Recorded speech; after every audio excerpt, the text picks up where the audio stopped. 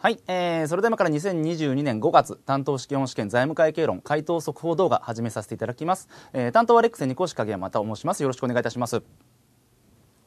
はい、えー、本日担当試験試験、えー、本当にお疲れ様でしたえー、なかなかね、一日かけたですね、えー、長丁場の、えー、戦いで、えー、まあ非常にね、疲れてると思いますけれども、えー、レックのですね、財務会計論チームでもですね、回答の方のですね、速報が出ましたので、えー、まあ簡単なですね、解説とともにですね、お送りさせていただきます。よろしくお願いします。はい。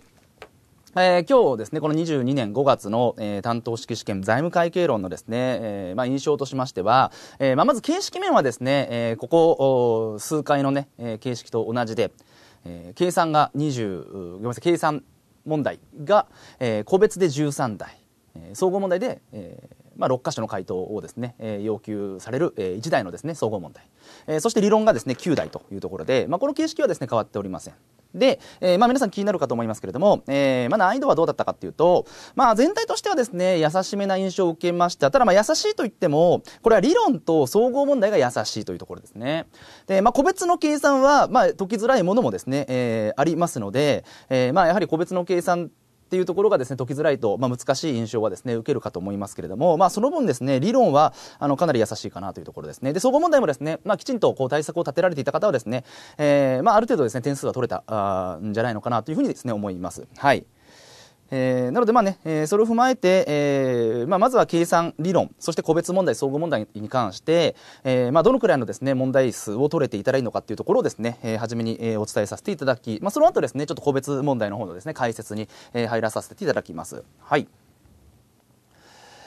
えーまあ、まずはですね個別の計算なんですが、えー、正当可能性高中低とですね3つに、えー、分け、えーまあ、全部で13題あるわけですけども正当可能性高の問題が6題中の問題が5題えー、低の問題が2題ということででその内訳がですねちょっとこうですね、まあ、回答も含めてなんですがはいえー、赤で囲ってある部分はこれ理論問題です。で、青の囲いの部分は総合問題なので、何もですね、印がないところが個別の計算問題になります。はい。ですかね。ですので、まあ、正当可能性項の問題だと、問題4、問題7、えー、そして問題15、問題18、問題20、問題21。この6箇所ですかね、6問。はい。で、正当可能性中の、ね、問題だと、問題3、問題5、問題6、えー、問題11、問題13。で、低の問題が、えー、問題12と問題16。まあ、あの、貸し倒れに関する問題と、えー、問題16が、対処給付のですね、えー問題になります。まあ、そこは正定です。ということで、えー、まあ、その中でどれくらい取れたらいいのかなというところのですね、目安ですけれども、まあ、正当可能性項の問題は、まあ、6台中5箇所ぐらいの政党が欲しいかなというところです。まあ、点数で言うと40点ですかね。40点。はい。まあね、瀬戸からこうといってもね、えーまあ、満点はなかなか厳しいと思いますが、ただまあ今日の問題からすると正当可能性項の中でもですね、えー、まあそうですね、やっぱ資産除去債務であったりだとか、えー、収益認識ですね、えー、あとは外貨の問題、まあ、外貨の問題は、ね、一番簡単と言っても過言ではないのかなと、いうところ、まあ、そのあたり確実に、えー、取りたいですね、あと減損かな、減損は確実に取りたいかなと、いうところですね。うん、まあちょっとね、問題21のソフトウェアに関しては若干ね、処理、集計量が多いんですけど、まあ一応レックのね、あのー、担当の問題集に載っている問題とですね、かなりですね、類似しているので、えー、まあ過去問にもね、おそらくこう、オマージュして作っていると思うんですね、この21番は。えー、なので、まあできれば正解してもらいたかったかなっていうところです。あと問題4のね、えー、商品売買は多少時間がかかるんですけれども、えー、内容自体はそれほど難しくないので、まあここもなんとかっていうところなんですよね。はい。なので、まあ6題中5箇所ぐらいの瀬戸を拾いたかったというところ。で、瀬戸可能性中の問題に関しては、なんとか2台ですね。16点。はい。で、正当可能性点は、まあ、点数なくていいでしょうというところですね。なんで、まあ、計算問題としては、個別で56点。はい。で、続いて理論ですね。理論に関しては、えー、まあこれ、持ち分変動についてね、問われておりました。えー、持ち分法から連結の移行とですね、連結から持ち分法の移行に関してですね、えー、問われており、えー、まあ正確連結もないのでですね、あの、比較的こう、優しめな、えー、問題だったのかなと思います。ので、はい、まああの、満点も可能だと思いますが、一応ですね、えー、まあ正当可能性項の問題、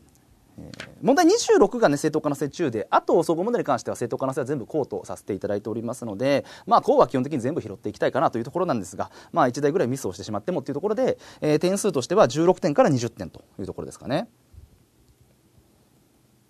はい。になります。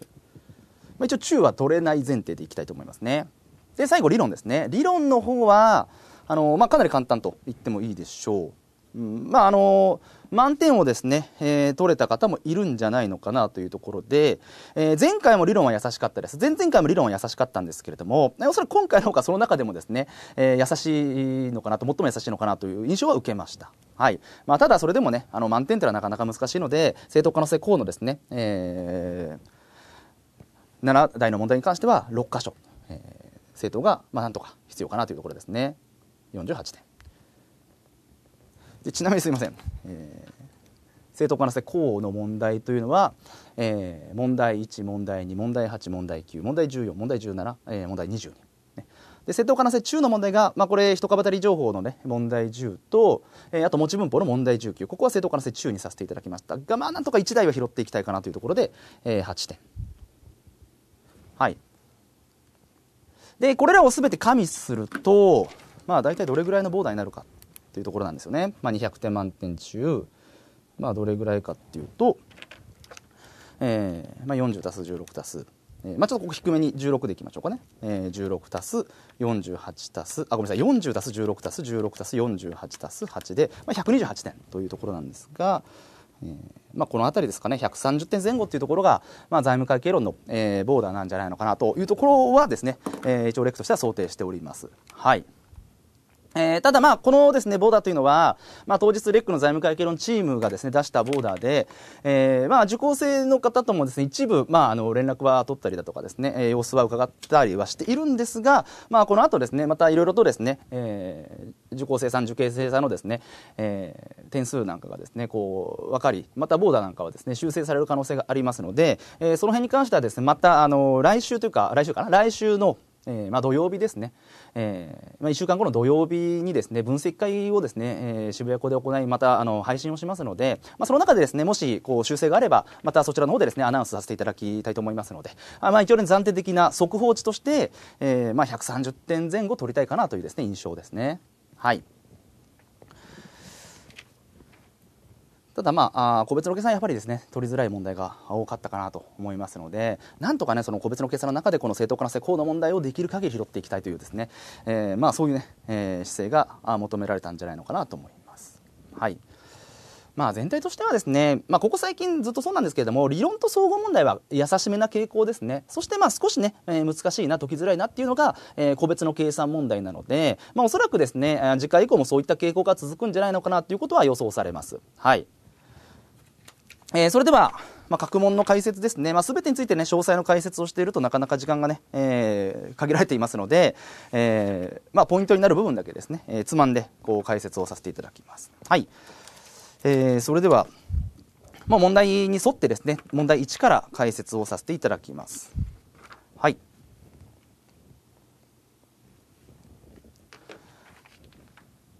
えー、問題1、まあ、バツ足だけね、理論は、あの、解説をさせていただきたいなと思います。バツ足のみですね。はい。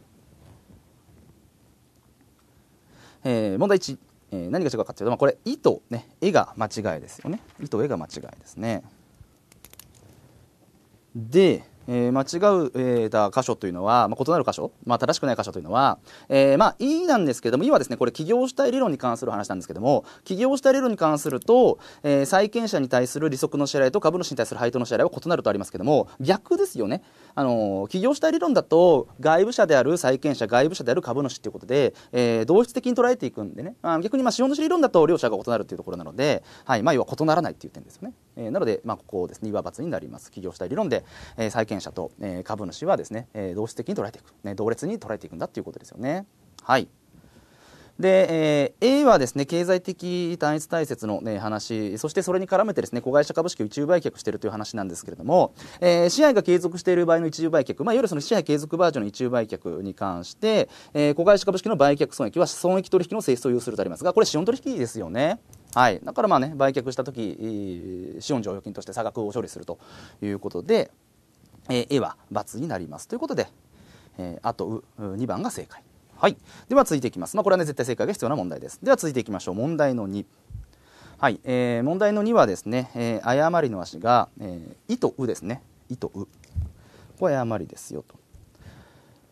で今、資本取引、損益取引に関してですけれども、えー、この資本取引、損益取引の区分の原則は、まあ、現行上ですね、必ずしも機能していないとありますけれども、はいえー、確かにね、この利害調整の観点からは、少しね、その機能が弱いというところでしたけれども、まあ、情報提供の観点からはね、引き続き、えー、この資本取引、損益取引をね、えー、区分する、まあ、つまり資本常勤と利益常勤を混同してはいけないっていうところに関してね、情報提供の観点からはなおですね、その情報の有用性が高いということでしたので、あの、まあ、必ずしも機能していないというところに関して、えー、まあ、×というところですね。はい。で、うに関しては、えー、継続性の原則、継続性の原則の話で、ちょっと読んでいきますかね。えー3行目から真ん中、この継続する原則は主として、財務省の期間比較可能性を確保することを目的としているため、利害関係者の判断を誤らせないように、会計処理の原則また手続きの変更の内容や、影響等を中期によって適切に開示すれば、任意に会計処理を変更することができるとありますけれども、えー、これダメですよね。中期によって適切に開示をしたとしても、正当な理由がなければいけないわけですよね。継続性の原則というのはね、正当な理由がなければ、えー、やたらに会計処理を変更してはいけないっていうね、そういった原則でしたので、ね、まあ、きちんとね、正当な理由がなければ、そもそも、えー、会計処理は中期をしたとしてもね、変更することはできませんよということで、はい、うは×になります。はい。では続いていきましょう。問題の3。えー、問題の3はですね、売掛金の明細表になります。で、まあ、この問題自体非常に優しいんですけれども、ちょっとね、電子記録債権が出てきてしまってですね、ちょっとレクノではこの電子記録債権をですね、えー、きちんと説明していなかったので、まあ、これを見てですねちょっとびっくりされた方はですね、えーまあ、この問題さんはできなかったもで仕方がないのかなと、えー、思います、えー、逆に、まあ、二所簿記なんかでね電子記録債権で出てくるので、まあ、そういったところでねあの見たことがあるよっていう方は、えーまあ、これは問題さんは解けたのかなと思います。え問題自体非常に、え、優しい問題ですね。まあ、明細表ということなので、補助簿なので、えー、まあ、少しね、面食らった方もいると思いますけれども、はい、内容自体は非常に優しいですね。まあ、要は、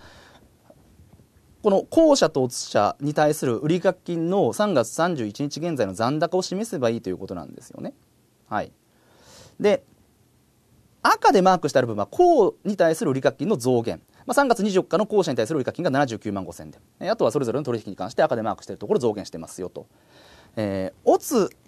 社に関する売掛金は黄色でマークしていますね。で、この売掛金明細表に関して、オツ社のですね、3月24日の売掛金がハテナになっていますけども、えー、売掛金勘定のですね、残高3月24日時点っていうのが、これ219万ってありますので、えー、これ219万のですね、えー、売掛金勘定残高っていうのは、公社とオツ社のものを合わせたものになります。ね。はい。ですので、公社とオツ社のものを合わせて219万。で、公社が79万5000なので、オツ社に対する売掛金は139万5000。ね。あと増減のところに関しては黄色でマークしております。で、えー、電子記録債権に関しては、この売掛金ではないので、電子記録債権にですね、まあ、振り返ってるってことは、まあ、売掛金が減ってるって考えてください。売掛金から電子記録、えー、債権っていう科目に振り替わってるんだということなので、おっしゃに対する売掛金は減ってるんですね。これ売掛金の明細表ですからね。はい。また金額を集計してもらえれば回答が出ると思いますが、まあ、繰り返しになりますが、えー、電子記録債権の話を知っていればですね、えー、解けなければいけない。でも、まあ、知らなかった方はですね、えー、ちょっとですね、これは見たことがないということで飛ばしてしまったかもしれませんので、まあ、その点ですね、え、間違えてしまっても仕方がないのかなと思います。はい。では続いていきます。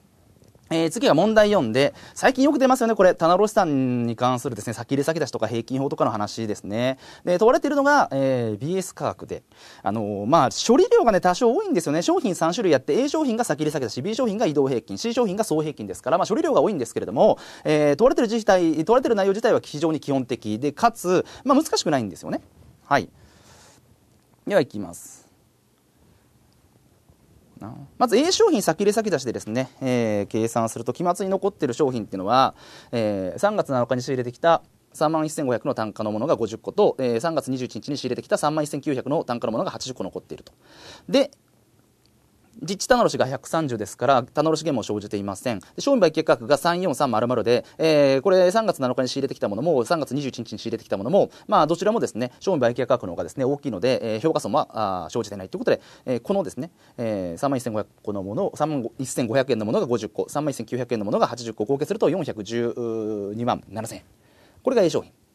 まあ、期末のね、商品を求めてるんで、まあ、比較的ね、求めやすいんです。これ、売上原価とかを求めなさいっていう問題だと、もうちょっとね、あの、めんどくさかったりするんですが、期末の商品ですからね、商品を求めればいいというところです。はい、次 B 商品ですね。B 商品移動平均法、まあ、やっぱ移動平均法ちょっとめんどくさいですね。で、移動平均法ですね、えー、単価計算すると、えー、これ3月15日の指令取引が終わった段階での単価って2万1100、2万1690なんですよ。ね、2万1690。ね。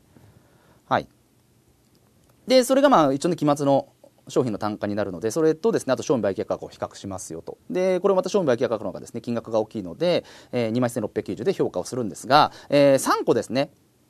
品質低下のものがありますので、この3個に関しては、えー、1万で評価しなければいけないということなのでですね、えー、270個ですね、残ってるんですけども、えー、そのうち3個は1万で評価しますよと。で、残った267に関しては、えー、移動平均法で計算した単価2万1690で評価をすると。そうすると、B 商品の期末の母価っていうのが、えー、581万、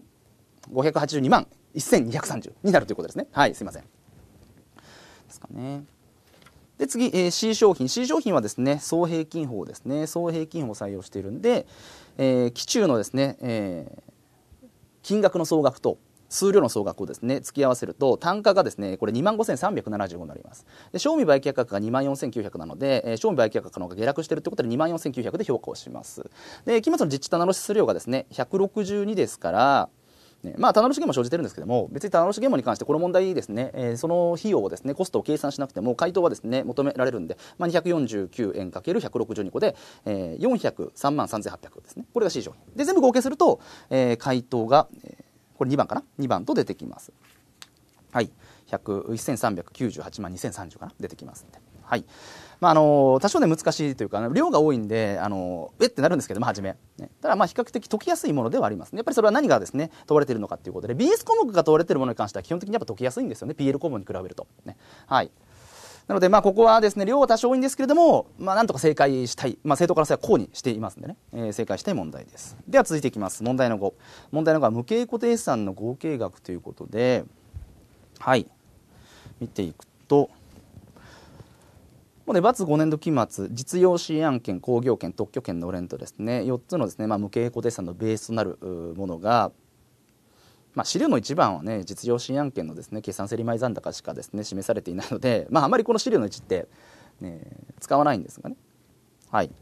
まあ、あの実用支援案件、工業権、のれんはね、まあ、各地もあの普通にやってもらったと言ったら変ですけれども、まあ、そんなひねりは全くないんです。ね、はい、計算をしてもらえればできるかなと思いますが、まあ、やっぱ特許権をね迷われた方がいると思いますのでちょっと特許権だけ見ていくと資料2の4番ですかね。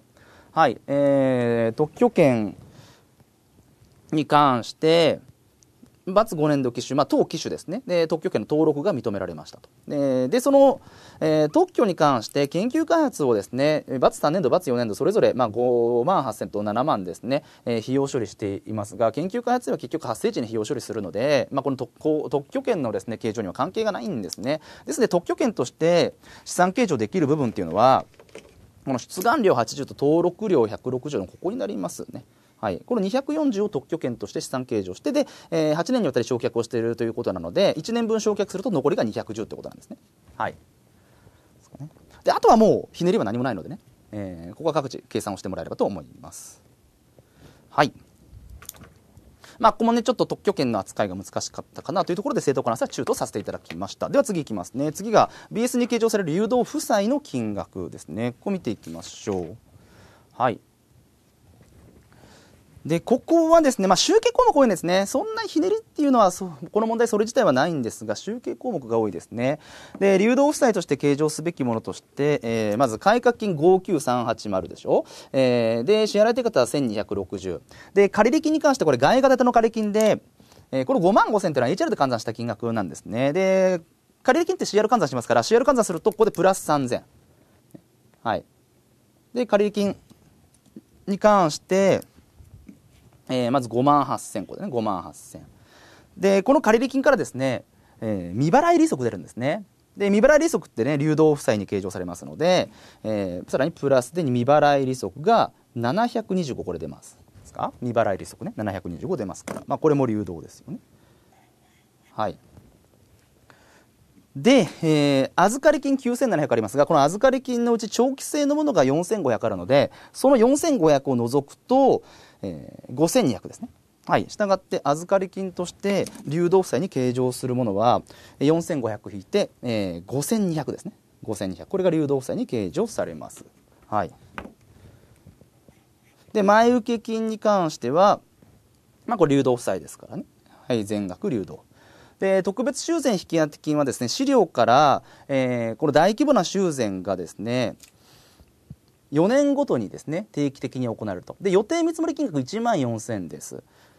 で、その1万4000割る4年で年間3500をですね、特別修繕引き当的に、えー、計上するわけですけども、前提ビル段階で3500、要は1年分計上されてる。で、当期3500、1年分計上すると、えー、トータル7000で2年分計上されるわけですけれども、まだね、その特別修繕っていうのが、えー、2年先なので、流動には区分しないんですね。だからこの特別修繕引き当的には、えー、流動負債には計上しない。はい。で、えー、あとはですね、倉庫の賃借料未払い分で、まあ、これも未払い費用ですよね。だから未払い費用ですね、えー、さらに1200。1200でしょ。で、当座借越は短期借入金です。で、その当座借越が9番。これ単借ですからね。2600が短期借入金。はい。さらにこれは単借ですね。短期借入金で、えー、2600かなちょっと見えますかね。当座借越2600。で、あともう一個、賞与引当金ですね。賞与引当金が、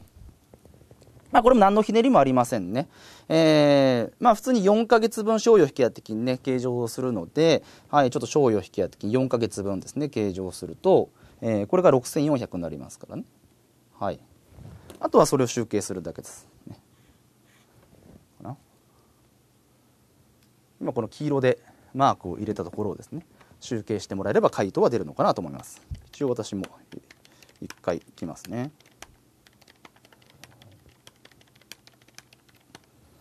14万5765で、えー、4ですね。はい。まあ一つ一つはね、そんなに難しくないと思うんですけども、ただやっぱりこれだけ集計が多いとですね、何か集計漏れをする可能性があるということで、正当化なせは中とさせていただきました。はい。では次いきますね。次が資産除去債務ですね。えー、設備への減価償却費の金額ですね。でこれ見積もりの変更が行われているんですが、まあ、一応ねその問題を作る側の親切心として割引率がゼロなので、まあ、割引をね考慮しなくてもいいよっていう計算ですね、まあ、むしろねちょっとあの気持ち悪いかもしれませんけれども、はい。まあ、設立としては単純なものになります。そのおかげでですね。はい。で、えー、これ状況支出に関する見積もりがね変更されているんですよね。はじめ5700と見積もられており、その後6600に増加し、で、さらにその後6200に減少するって、こういうですね、経緯をたどっているわけですね。はい。じゃあ、それ別に見ていきましょうか。えー、設備 A の取得金額が8万8300で、初め5700で、まあ、割引計算無視するんで、はい、初めの段階で、えー、設備 A のね、えー、取得価格が、まあ、資産除去債務入れて、えー、9万4000。で、そこからですね、2年経過するので、2年分の減価償却費ですね。これ9万4000割る5年ですかね。割る5年。えー、かける2年。で、2年分の減価償却費をですね、除くと、まあ、控除するとね、減価償却累計額ですね。そうすると、えー、5万6400になるんですね、母価が。で、この段階で、将来キャッシュフローのですね、えー、見積もりの増加、えー、プラス900ですね。プラス900増加の見積もりになります。はい。とすると、母価がまあ5万6400まで減ったんだけども、900加算されて5万7300になりますね。ここですね。5万7300。で5万7300で残り、え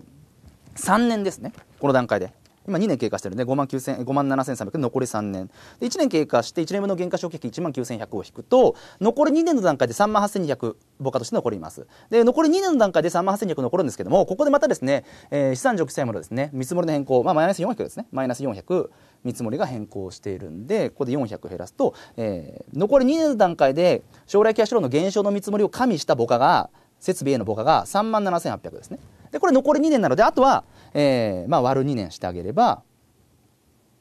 はい、この罰5年度当期の減価償却費が出てきます。3万7800 3万7800割る2ね。1万8900と。はい。出てきますということですね。で4番ですかね。はい。まあ一応履行差額ねここプラス300出てるんですけれども、まあ、履行差額減価償却費に含めるということも考えられなくもないんですけれども、まあ、ただここの1万1900にプラス300ね、えー、加えた回答の選択肢がないので、まあ、そのまあ1万1900が回答の選択肢だっていうふうに考えていきます。まあ、正当だというふうに考えていきます。ね、はい。まあ、ここはね、正解してもらいたかったかなと思います。まあ、ちょっとね、めんどくさいかもしれませんけれども、えー、そんなに、まあ、ひねりは全くないかなというところです。はい。ただまあ正当化の性こうにはしてるんですけども、こうの中では、うん、まあ解きづらいかなとはちょっと思いますね。はい。では続いていきます。次が問題8ですね。再び理論です。自公株式に関して、えー、これは、うとえが間違ってますね。うとえが間違ってます。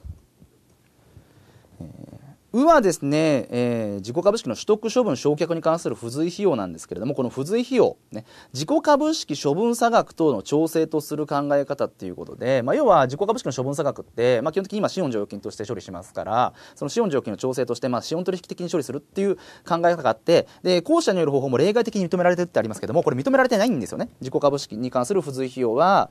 えー、まあ、処分だけはね、一応、繰延資産計上が認められていますが、基本、取得処分、償却、どれもですね、原則は営業外費用にね、計上されるということですから、うは×です。はい。えー、で、A ですね、A は自己株式の無償取得です。で、無償取得した自己株式に関しては、時価で、えー、測定し、資本剰金とする方法が取られているとありますけども、はい、自己株式の無償取得は、えー、数のみの増加ですね。時価で計上しないんですよね。数のみの増加でしたから、これも×ですということですね。はい。えー、で、これも絶対正解が必要です。はい。では続いていきます次も理論ですね問い9包括利益包括利益は×足は、えー、あと A ですかねそしてねあと A で、まあ、あですね。あは包括利益の表示によって提供される情報はクリーンサープラスなんですけども、これ株主論と、えー、包括利益のクリーンサープラスではなくて、これ純資産ですよね。はい。ここは絶対に判断できなければいけないというところと、A ですね。A は、あ会計報酬の変更及び5秒の訂正に関する累積的影響額にかかる機種の利益除去の修正額。これ前回の担当でねこの累積的影響額を求める問題って出てるんですよね。はい、で前期前の帰属する純資産の変動額を当期に表示しているものであるから当期の包括歴に含まれることとなるとありますが、まあ、そんなの含まれないんですよね。はい、当期の包括歴の中にこれ含まれるわけがありませんということで×になります。はいまあ、あとね丸足も非常に判断しやすいで今回ね理論はね、えー、丸足も非常に判断しやすいんですね。まあそういう意味でもね理論の難易度が非常にまあ難度がね、えー、低いというか優しめな問題っていうことは言えます。ね、はい。じゃあ次いきます。問題10問題10はねちょっと難しいですよね。理論の中では。正当化の性は中になります。はい。まあ、やっぱり「い」が少し難しいかなっていうところですね。で、えー、誤りの選択肢が、えー、これ「い」と「う」ですね「い」と「う」あじゃあ失礼しました。誤りの選択肢が、えー、あといいかな。すいません。あといいですね。失礼しました。あといいですね。失礼しました。あといいですね。えー、まず、あですね。あは、一株当たり当期純損失を算定する必要はないとありますけども、一株当たり当期純損失は算定しますよね。あの、潜在株式調整後はね、純損失の場合、えー、開示しなくてもいいというだけであって、一株当たり当期純損失は普通に、えー、算定しますよということです。はい。で、意に関してですね、えー、これはですね一応読んでいきますかね。配当優先株式を発行している企業において一株当たり当期純利益の計算に用いられる普通株式にかかる当期純利益っていうのは、えー、PL 上の当期純利益から定められた優先配当額を控除して算定されると。まあここまでいいんですよ。ね、ですか？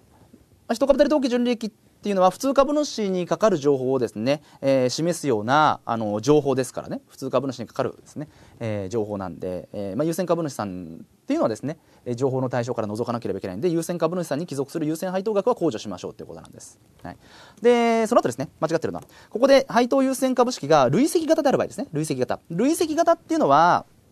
ねえー、優先株主さんに配当される金額決められた優先額に達しない場合には翌期にね繰り越して翌期に不足額を充当して、えー、さらにね前期に足りなかった分をですね補われるっていうですね、えー、そういう優先株なんですね累積型って、不足した部分に関して過去に不足した部分は、えー、それを繰り越して、ね、当期に充当するというわけなんですよね。はい、これが累積型。で配当優先株式が累積型である場合であって定められた優先配当額に達しなかった可年度の不足額を当期に払った場合まさにそうですよね、えー、優先配当額に達しなかった不足額は当期に払うわけですよ、ね。まあ、過去に足りなかったものを当期に払うんですね、えー、ここがいいんですけどもただその支払った額はその額を当期純利益から追加的に控除するってありますけどもこの額は控除しないんですね。はい。ですか？あくまでも払うのは翌期かもしれません。不足額を支払うのはえー、まあ、翌期とかね、翌々期かもしれませんけれども、一株当たり当期純利益の算定上ですね、えー、当期純利益から控除する優先額っていうのは、配当優先額っていうのは、その定められた額なんですよ。はい。この定められた優先配当額なんですね。から累積型で実際に定められた優先配当額に達しなかった場合に過去の不足額を充当するわけですけども、えー、でも一株当たり当期純利益の算定上はその不足した年度においても定められた額を利益から控除するわけなんですね。はいまあ、一応ですねあの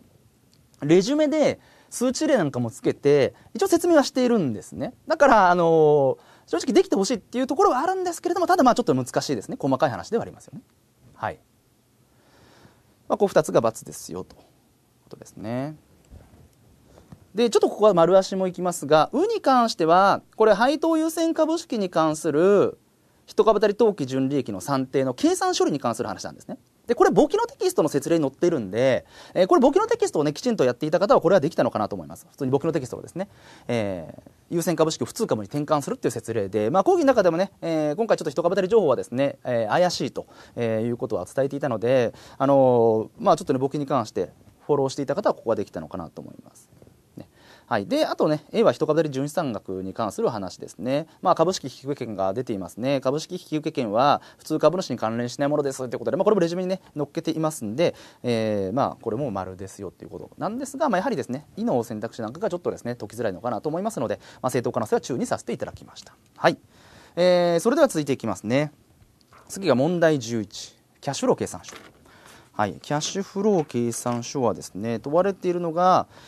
この間接法で処理した場合の小計欄より上の為替差損益の金額と売上先の増減額の、えー、組み合わせをですね、えー、求めましょうということでいくとですね、まあ、この小計欄より上の為替差損益っていうのは営業資産から発生したものは乗っけちゃダメなんですよね。だから売掛金から発生した為替差損益は「あ」の為替差損益の中には入れちゃダメなんですよ。つまり営業外資産から発生する為替差損益のみを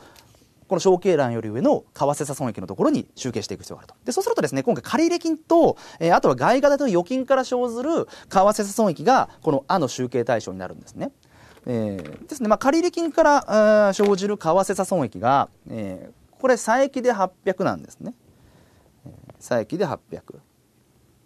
えー、佐伯800とちょっと書いてきますよね。ですか？借入金から生じるものが佐伯で800。で、えー、まあ、これな借入金ですね。あと預金ですね。預金から発生する為替差損益が、えー、これが差損で3600出るんですね。差損で。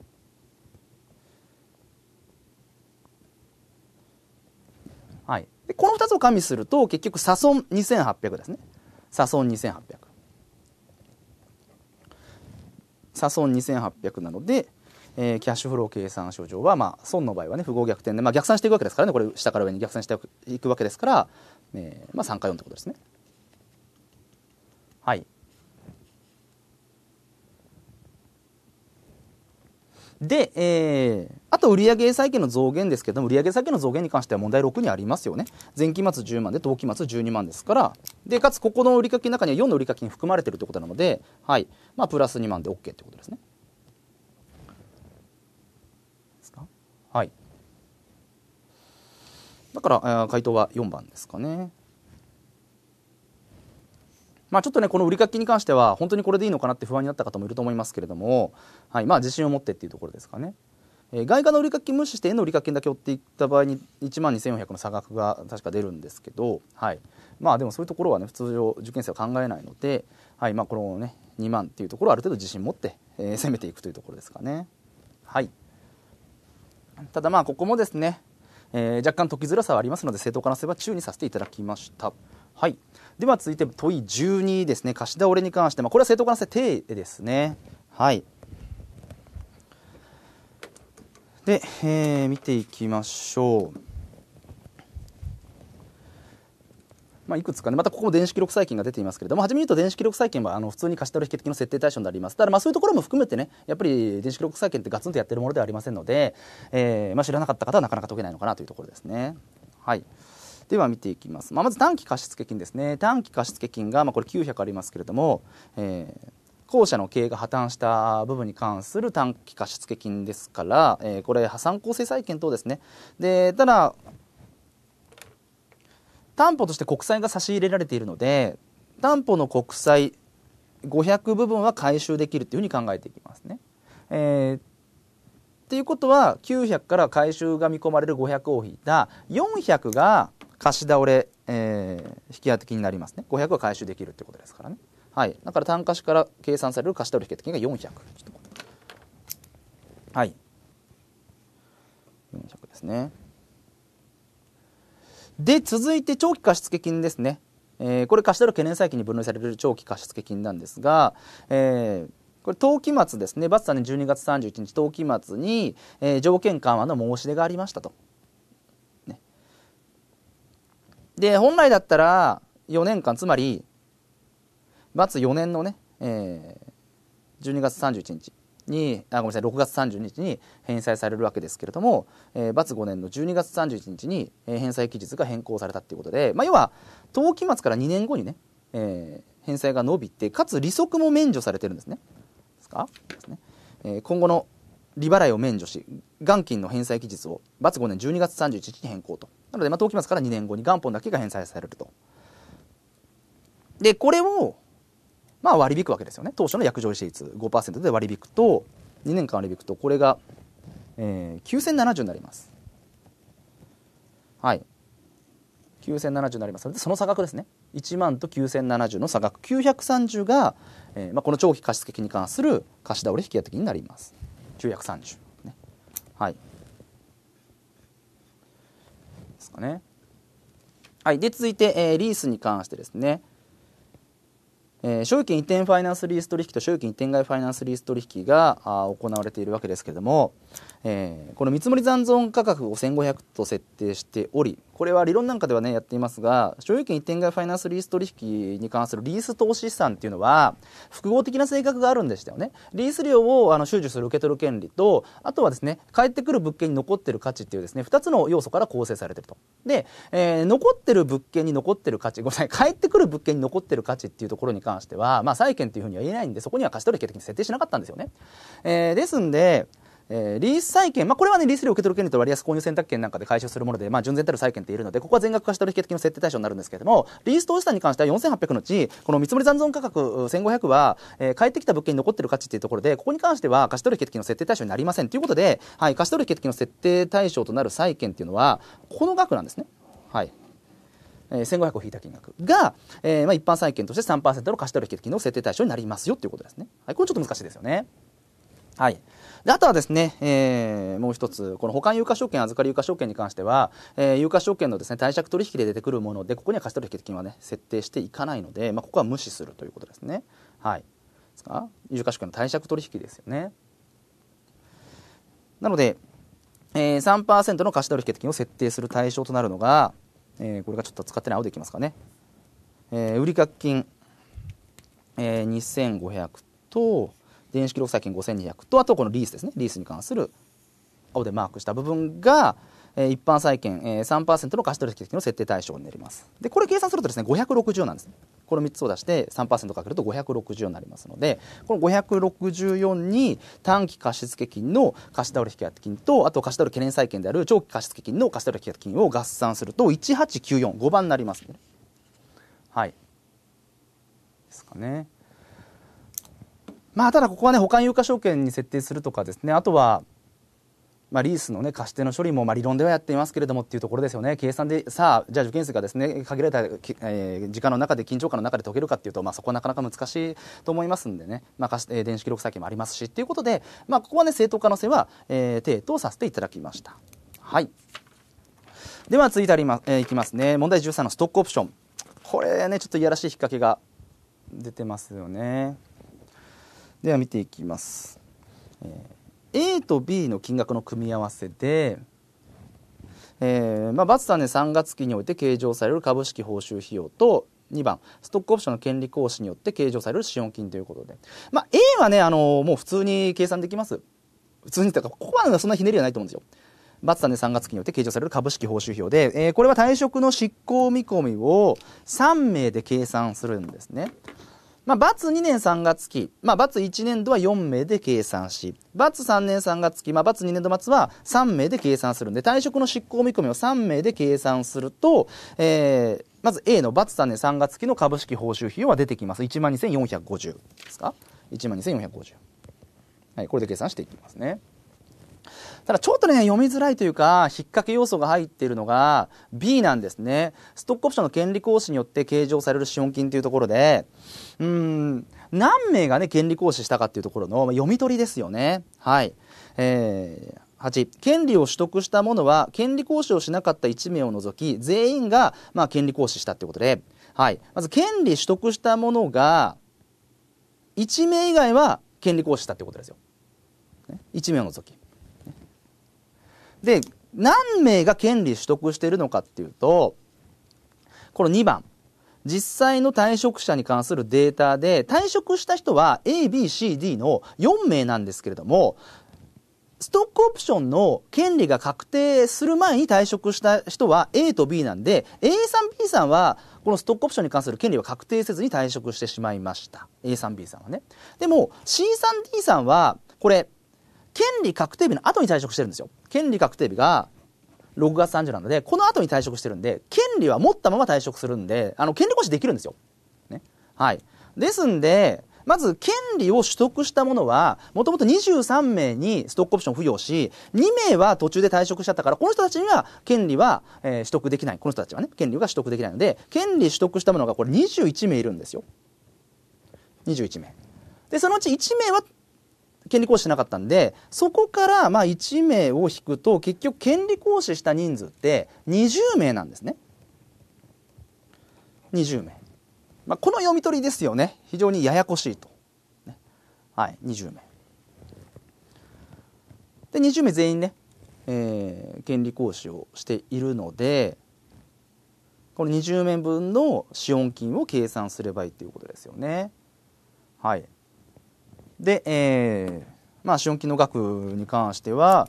えー、権利行使時の払い込み金額1株50と、えー、あとはですね、えー、ストックオプションとして計上された金額っていうのはこの公正な評価単価の金額ですから、えーまあ、1個あたりですね、えー、12,000円計上されるんで、まあ、要は1人頭ですね。62、ね、62の資本金が計上されるっていうことですよね。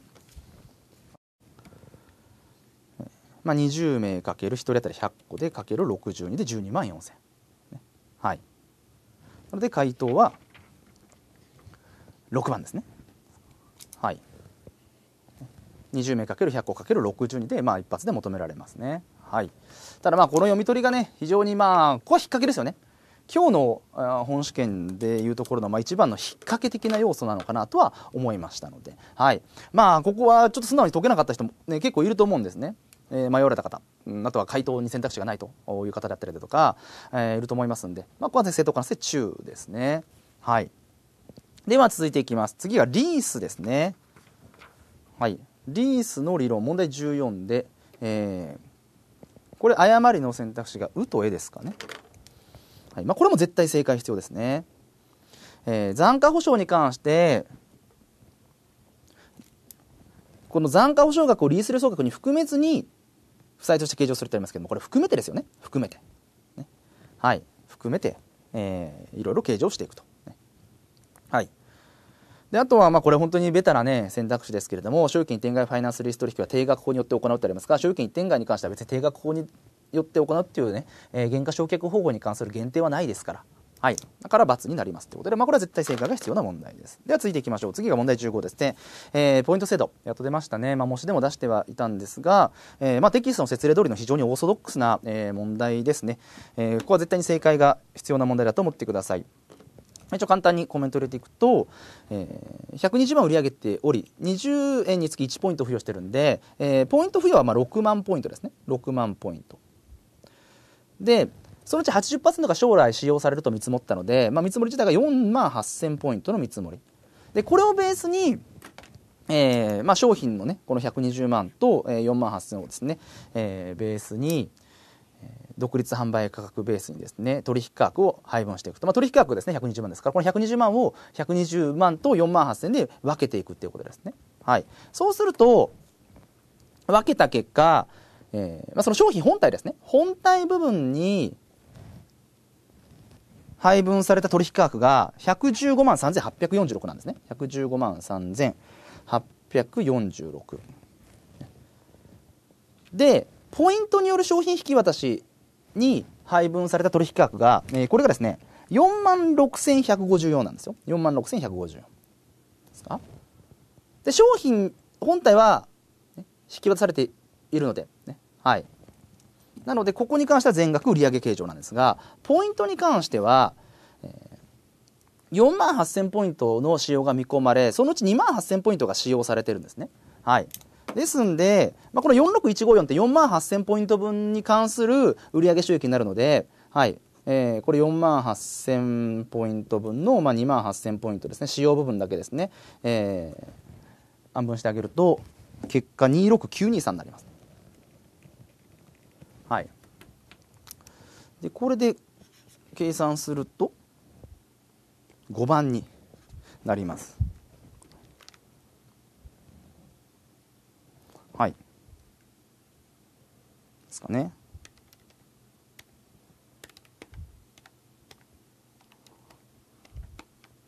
そうですね。はい。ということで、まあ、もうこれ別にテキストの説例通りですから、何のひねりもないですからね。えー、必ず、必ず、もうね、これはもう必ず正解が必要な問題だと思ってください。はい。で、次が、えー、問題16対象給付ですね。これちょっとですね、難しいというか、なかなか、あのー、解けなくても、これ完全に仕方がない、えー、問題ですね。はい。では見ていきます。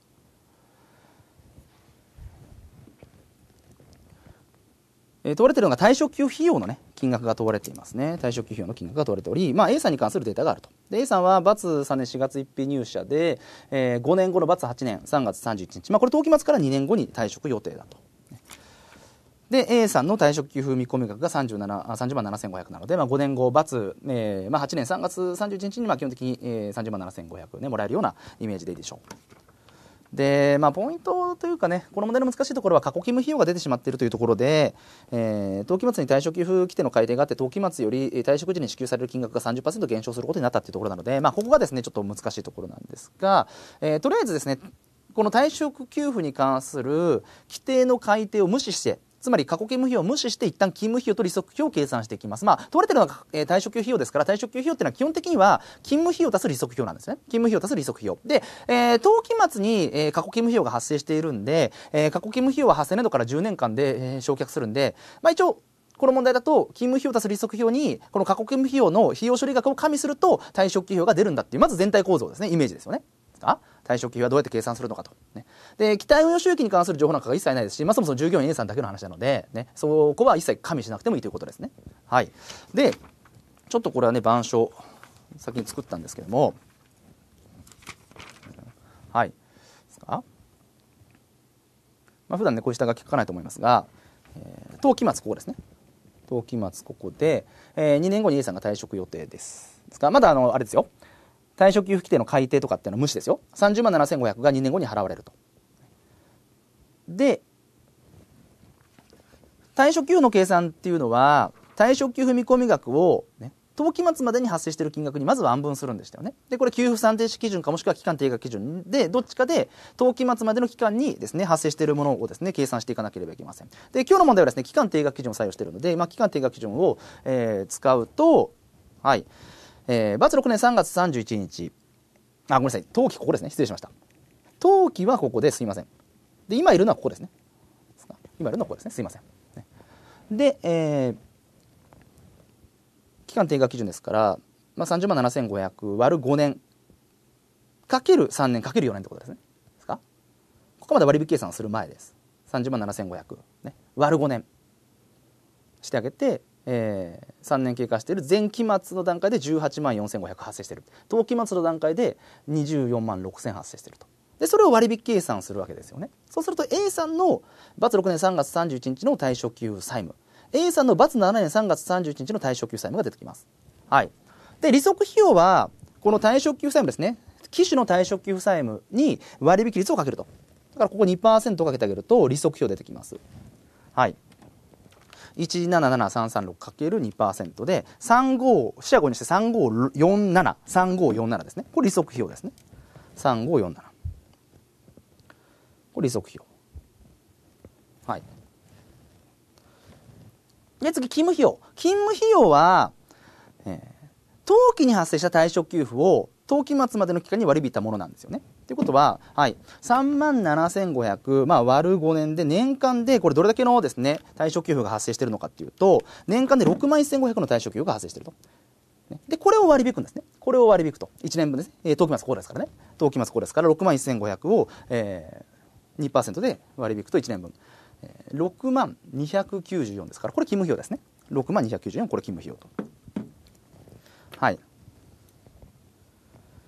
えー、で勤務費用がこの6万1500を割り引いたもので、えー、6万294、はい、これ勤務費用ですと。これがベースですよね。はい。ただ結局ですね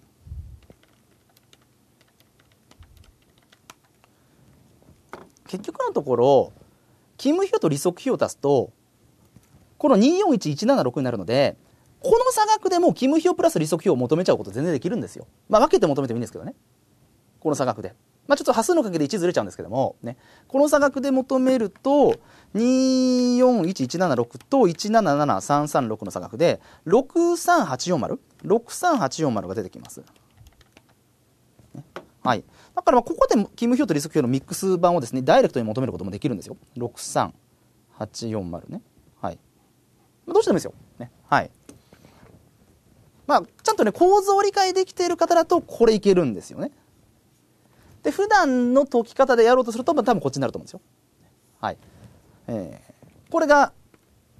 過去勤務費用を考慮する前。ね。で、こっから過去勤務費用を考慮します。過去勤務費用を考慮しますね。はい。で、過去勤務費用を考慮すると、えー、どうかっていうとですね、今回は30%かな？30%ですね、支給される金額が減額なので、はい。30%減額するとここですね。はい。かける1マイナス30%で、えー、2万1250、はい。でこれ割引前ですね。でそれ当期末までに発生しているものがこれ215250を割る5年してかける4年やると当期末まで発生している金額が17万2200でそれぞれ割り引いてあげますね。はい。それぞれ、えー、割り引いてあげると。割る。1.02それぞれごめんなさい。ここですごめんなさい。失礼しました。ここ割り引いてあげると。はい。こっちは割り引く必要ないです。ねすいません。172200割る。1.02で割り引くと、えー、これです。16万8824になりますね。で支払うべき退職給付がここですよ。ここで2124176から、え168824まで下落するのでこの72352 72352が過去勤務費用だと。ですか？これ過去勤務費用。でこれも10年であるんで、えー、まあ10であると7235ですね7235これ10年であるとこれ7235はい、これ過去勤務用の当期費用処理額で。でこれ退職給付水準の低下ですから支給額減額されてるんで、えー、勤務費用プラス利息費用のこの値からマイナスしますね。はい、なので3547足す60294から7235を引くと、えー、56606が出てきます。が、まあ、これ四捨五入端数の関係で56605ここですかね。2番が回答になります。はい。からまあこれダイレクトで求めればですねきちんと合うのかなというところですね。であとはですねこれ7235って、まあ、もっとですねあの簡単に求められますよ、まあ、これも構造理解してるかどうかっていうところなんですがこの7235にもっとですね簡単に求められてこれっていうのは、えー、30%下落したその30%部分だけピックアップしてくればいいんですよ、ね、今ちょっとねあの全体の退職給付債務なんかもですね追ってみていったんですけども、えー30万7000ごめんなさい30万7500かける0.3でこの部分が減るわけですね。この部分が退職給の減少分ですからまあ純粋にこれを、えー、使って割る5かける4で7万3800であとは割る1.02で1年分割り引いてあげると7235まあ3ですかね。これが出てきますから、ね、あとは割る10年してあげると7235出てきますね。はい。からまあその30%下落する部分をダイレクトで求めてえーまあ、これをね割る 5×4 してあげて割る1.0にしてあげると、えーまあ、このね退職給の減少分はダイレクトで求められるんで、ね、はいまあ、これも、ね、全体像を理解していればかなり早く求められるんですけれども、ただですね、えー、なかなかその限られた時間の中で、えーまあ、皆さんがですね、このように解くっていうのはなかなか難しいと思いますので、まあ、これはもう正当化なせ定とさせていただきます。はい。えー、それでは続いていきますね。問題17。問題17、税効果で、まあ、これは絶対正解必要ですよね。えー、問題17、×足が後いだったかな？そうですね。後い。これ×で、何が違うのかっていうと、債権債務の証拠による貸し取引決金を減額した場合だったりだとか、えー、租税特別措置法上の準備金を計上した場合は、これ減算じゃなくて加算ですね。将来加算小さいですからね。はい。これ、×ですね。はい。で、あと、E はですね、繰延法と資産の債があって、繰延法は債解消年度。うん、違いますよね。発生ですね。えー、資産の債法は債が発生した年度。違いですね。解消ですよね。逆なんですよね。はい。これ逆ですよと。繰延法が債発生年度、えー、資産負債法が債解消年度。まあ逆ですよということです。はい。えー、よって、まあ、これは確実に、ね、正解が必要ですかね。まあ、別に、うとえもね、そんな難しくないですから、全足見渡しても、えー、簡単な足ということは言えますね。簡単な問題ということは言えます。はい。では、いきます。と続いて問題18ですね。えー、振り当て処理、ね、外貨に関する振り当て処理の問題です。まあ、正当化の施行の中でもすごい簡単ですね。まあ、特に解説する内容はないぐらいですね。はい。えー、まあ気持ち悪いものとしては、これ、えー、直々差額と直先差額が同額で逆に出てくるんですよね。えー、つまり、かな？この輸入した日が為替相場1ドル102円で、で、予約した日もですね、為替相場1ドル102円なので、ですか？この予約定期通日までの1ドル102円から1ドル104円までのここの部分っていうのは、これが直々なんですよね。直々になって。ね、で、この100円から102円までこっちが直先になるんですね。はい。だから取引日のレートと予約日のレートが、まあ先物レートが同じなので、買掛金の金額が変わらないんですよね。ですかはい。まあそこがちょっと気持ち悪いですが、まああとはもうそのままね、えー、解いてもらえれば、あのー、あ、ごめんなさい、ここ直先ですね。失礼しました。直々じゃなくて失礼しましたね。これ直先ですね。直先ですねすみません直先ですね失礼しました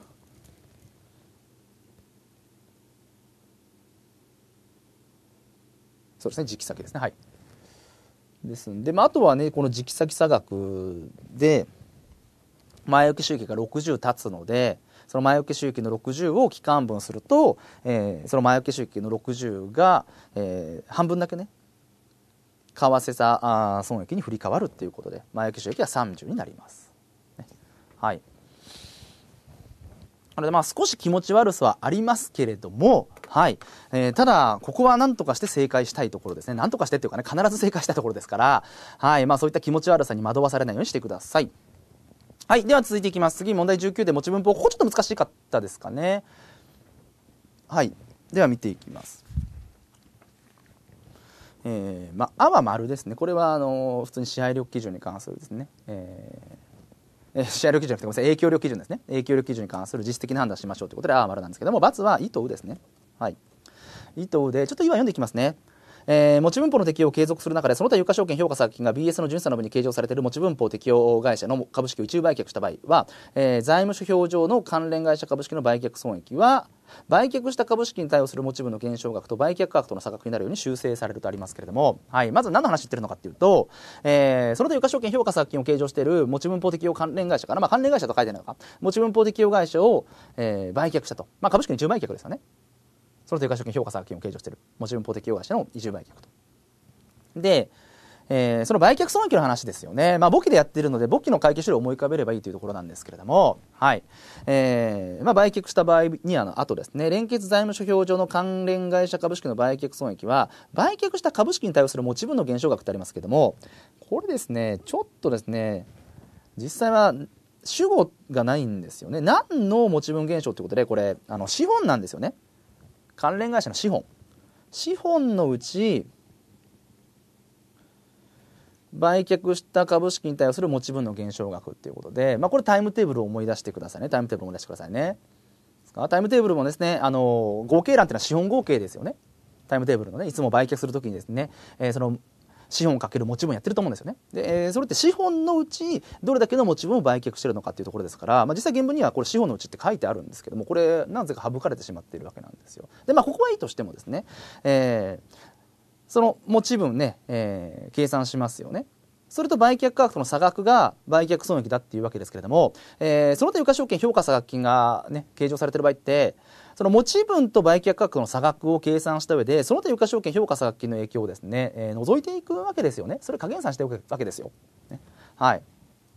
その売却した株式に対応する持ち分の中にその他有価証券評価差額金が入ってるんですけどもこれ基本的には含めずに計算していくべきなんですよだからまあ皆さんはですねタイムテーブル上はそのその他有価証券評価差額金含めて資本合計をですね出してその資本合計に持ち分かけてで売却価格の差額で損益を一旦出してあとはね、えー、その他有価証券評価差額の影響を取り崩して実現させていくっていう処理をしてると思うんですけども要はその部分が考慮されてないんですね。はい。だからまあここは×なんですがただまあちょっとねこの文章、ね、計算処理がパッと頭に思い浮かぶかどうかっていうところがね、あのー、まあ一つキーポイントになっていますので、えー、まあ普段やってる会計処理とその原文なんかをねレジュメの原文部分を照らし合わせて、えー、勉強されてる方は比較的まあ読めたかもしれませんけれどもまあそれでもねやっぱ難しいかなとは思います。はいまあ、要はその他有価証券評価差金のね調整が売却時の調整が入ってないということですね。はい、あとはまあちょっとここの資料のうちっていうのが抜けてるんで若干、えー、売却した株式に対する持ち分何の持ち分だって話にもちょっとなってしまうわけですよ。で、うはね、単純な知識の話なんですね。持ち分法の追加取得。追加取得の時にですね、持ち分法を適用してのれん相当額が計上されるわけですけども、そののれん相当額っていうのは、えー、別個の償却期間を設定することができる。つまり一番初めにですね、持ち分法を適用して、えー、のれんを計上した時に10年間で償却しますよ。ね。で、追加取得したときにですね、えー、またのれん計上する。で、そののれんはじゃあ5年間で償却することにしますよ。えー、これダメですよってことですね。はい。えー、別個の償却権を設定することができませんよってことなので、まあ、これはね、あの、知らなくてもしょうがないかなと思います。ですね、まあ、確実に、えー、判断できる足というのは、まあ、あですね。ででも丸足なんですよね。で、丸足は軸に判断しちゃいけないって私講義で言ってるんで、まあ、基本的にちょっと丸足だとね、不安ですよね。で、あと、絵もまあ判断できるかなと思います。ただまあ減損処理額がね持ち分ポイント投資損益に含めてっていうところはちょっとですね、えー、講義でやってないんで、まあのれんの償却額と負ののれんは持ち分ポイント投資損益ですからね、えー、まあ若干判断しづらいのかなとは思いますんで、まあ、この問題に関しては正当化なせはあ中途させてもらいましたはいでは問題20ですね。問題20は減損でまあこれは簡単ですよね。えー、事業4と事業5があってですか？事業4と事業があってのれんをねそれぞれ分割すると事業4が資産グループ ABC を有する、え事業でのれんこれ125分割できます。で事業5の方は、まあ、特にのれんまあ分割して75なんですよね。で事業5の方は、えー、減損全く関係ないと。で事業4の方は減損の兆候があるんで、えー、減損をですね計算すると、まあ、個別に計算すると、えー、B が、えー、これマイナス30で C がこれマイナス40なんですね。でそうするとまず個別に減損を計算すると個別で各資産グループの合計が減損70でより大きな単位でねグルーピングをする方法っていうのはのれんを加えたことによってどれだけ減損損失が増加したのかっていうことを計算していかなければいけないと。でそうするとですね、えー、のれんの母価が125なのでここ全部まとめてしまうと母価ベースでのれん含めてより大きな単位での母価っていうのが、えー、505 100プラス80プラス200足す125で505ですね。より大きな単位での母価が505なので回収可能価格まで母価切り下げると、えー、より大きな単位での減損が、えー、150なんですねこれ150で BC 単体で70より大きな単位で150ってことはのれんを加えることによって増加した減損損失ってこれで80なんですよね80この80をのれんから削っていきましょうってことですね。なので125から80引いていくと事業4に帰属するのれんっていうのが125から80引いて45で、事業5の方は特にのれんそのままですから、ちょっと下書きめちゃくちゃ汚くなっちゃって申し訳ないんですけども、45たす75で、えー、いくかな ?120。45たす75で124番が回答になりますね。はい。まあ、これはもう絶対正解必要ですよ。ね。絶対正解が必要、ね。になりますんで、はい。まあ、ひょっとしたらさっきのね、外貨の問題よりも解きやすいのかもしれません。はい、絶対正解が必要です。では次問題21いきましょう。問題21はですね、確かにちょっと解きづらいというか、難しいというか、集計が多いんですね。難しいというか、集計が多いんで、ミスしやすいんですが、ただ問題集のね、問題と非常にですね、酷似してるので、正解してほしいんですよね。はい。では見ていきましょう。まあこれ過去問のね、焼き直しですね、これは確実に。はい。だから、それだから問題集にもね、こういった問題が載ってるわけなんですけれども、えー、ソフトウェア A はバツ1年度期中にですね製品マスター完成させておりバツ1年度中に発生したコストのうち7万2000がこれソフトウェアの製品マスター制作費になりますね。だから無形資産に計上するべき金額ですね。はい。でソフトウェア B に関してはまあバツ2年度これ登記中に発生し2万6800は製品マスターの制作。費3万3200はこれ研究開発費ですからこの3万3200は研究開発費として、えー、速攻で費用処理ですね。はい。で2万6800が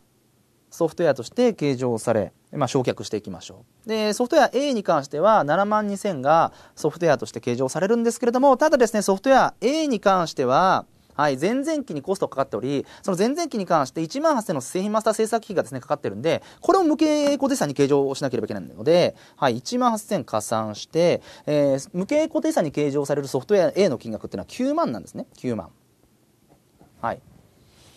で、これ販売数量で、えー、焼却計算すると、まあ、販売収益わからないんでね。で、販売収益わからないんで、結局、あの、減損の話も出てこない。っていうことで、えー、販売数量をベースにですね焼却費を計算すると、えー、ソフトウェア A が3万6000になりますね。3万6000ソフトウェア A の焼却ですね。ソフトウェア A の焼却費が3万6000になってでソフトウェア B も同じくですね、まあ、この数量ベースに焼却をするとソフトウェア B が、えー、18224かな、ね、224が焼却計算の結果焼却される費用になります。で問われているのは焼却費の合計額焼却費と研究開発費の合計額でで研究開発費として費用処理される金額が3万3200なので、えー、3万6000足す3万3200足す18224で合計が87424で5番ですね。はい。でいくつかね、えー、引っ掛けというかまあ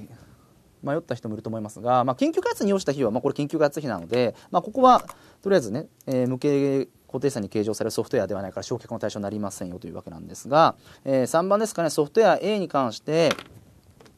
えー、著しい改良を行う必要があって8000追加の支出があるんですけどもこの8000ですね著しい改良なのでもはや研究開発の領域っていうことで研究開発費として費用処理するんですけどもこの著しい改良は前期ですからね前期に支出してるんで当期のコストではありませんということでこれ集計しちゃダメですよっていうことですね。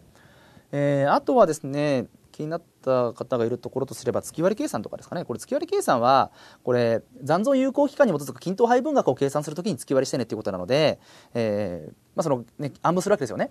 えー、ソフトウェアのですね計算だと必ず加減を求めるとその加減を求めるときに月割り計算してねっていうことなので通常の償却費の方で月割り計算はしないんですね。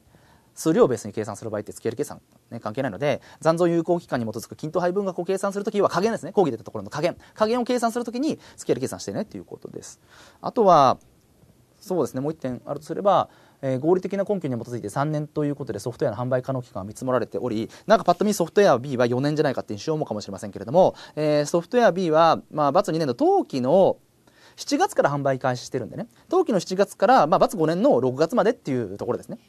はい。だからあの4年で見積もってるってわけじゃないんですよね。きずれがあるんで、きずれというかですね、えー、当期の7月から開始されてるんで、えー、バツ5年の6月まで、えー、入って、まあ、3年というふうに考えていきます。パッと見4年に見えるんですけどもね。はい。